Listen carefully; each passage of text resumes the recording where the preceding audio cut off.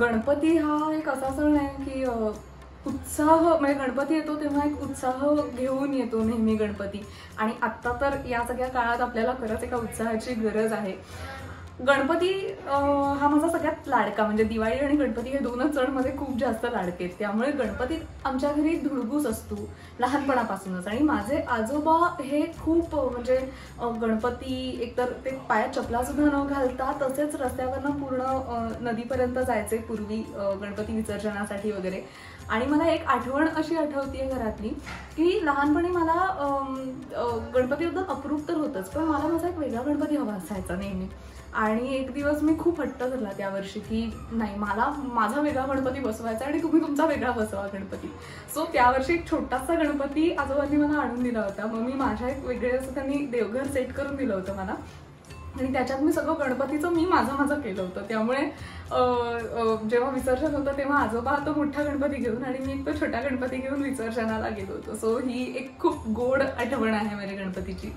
आणि आत्ता सिरियलमध्ये स्पेशली सई मी जाणार आहे ब्रह्मींच्या घरी गणपतीसाठी.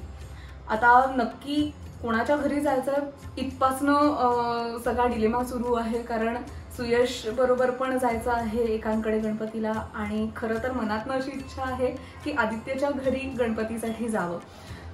एकूणच मला खूप अशी म्हणजे घालमेल होती आहे कुठेतरी टेन्शन येत आहे कारण एकूण माझा स्वभाव बघता मला असा लोकांच्या घरी पटकन ॲडजस्ट व्हायला जरा वेळ लागतो.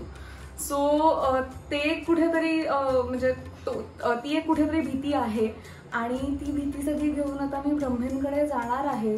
आणि मला माहिती नाही फक्त ऐकून आहे आदित्यकडनं त्याच्या मामांबद्दल आप्पांबद्दल सगळ्या घरातल्या गोष्टींबद्दल. ॲक्च्युअल त्याच्या घरी जाताना काय होणार आहे तिथे मला माहिती नाही. मला माहिती नाही ते कसे वेलकम करणार आहेत मला. आणि मी खूप एक्सायटेड आहे. सेम टाईम मला भीती पण वाटते आहे सो अशा सगळ्या ड्वेल मनस्थितीमध्ये मी त्यांच्या घरी जाणार आहे. ब्रह्मेंच्या बघू आता काय होतंय पुढे गेल्यानंतर. नमस्कार मी विराजस कुलकर्णी. आपल्या सगळ्यांच्याच घरांमध्ये आता बाप्पांचं आगमन झालं आहे. ह्या वर्षी तरी मी इथं आता शूटिंग करतोय पण एरवी माझ्या घरी पुण्याला असतो मी आमचा गणपती उत्सव आम्ही तिकडे साजरा करतो. आणि त्याची खासियत अशी आहे की मी अगदी लहान असल्यापासून आमच्या घरचा गणपती हा माझा काका घरी शाडू मातीने बनवतो. घरी त्याला हाताने पेंट करतो. आता तो आणि माझी चुलत भावंड जी आहेत अंकित आणि अर्चित तीही आता त्याला मदत करतात.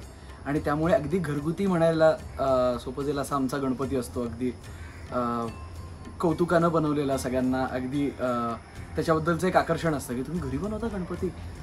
यांना मात्र शूटिंगमुळे मी इथे आता मुंबईत आहे आमच्या सेटवरती. पण कुठेतरी परत पुण्याला घरी गेल्यासारखं वाटतंय. कारण आमच्या सिरियलमध्ये जसं आहे तसंच आमचं पुण्याला सहकुटुंब होतं त्यामुळे. आम्ही सगळे घरामध्ये जी दंगामस्ती करायचो ती सगळी इथं सिरियलच्या मुळे करता येते पुन्हा. त्यामुळे पुन्हा मला कुठेतरी लहान झाल्यासारखं वाटतंय. कारण मी बारावीनंतर मुंबईला शिफ्ट झालो. आणि त्यामुळे ते कुठेतरी मी मिस करतो. त्याची कसर आज इथं सिरियलच्या सेटवरती भरून निघते असं मला वाटतं.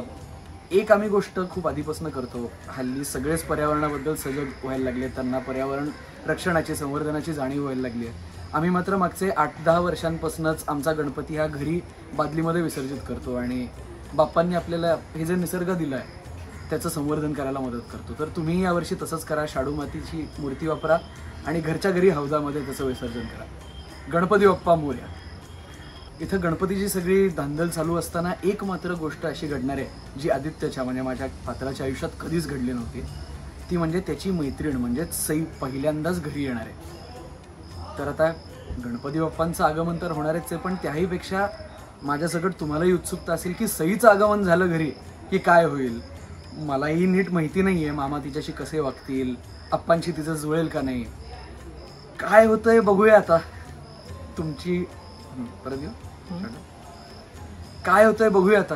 त्यामुळे तुमच्या सगळ्यांच्या सदिच्छा आमच्या बाजूनी आहेतच असं मला माहिती आहे त्यामुळे तुमच्या आमच्या आणि सईच्या वाटेने गणपती बाप्पा मोर्या झी मराठी आणि माझा औशिलनाच्या संपूर्ण टीमकडून तुम्हाला सगळ्यांना गणपतीच्या हार्दिक शुभेच्छा. गणपती बाप्पा मोरया.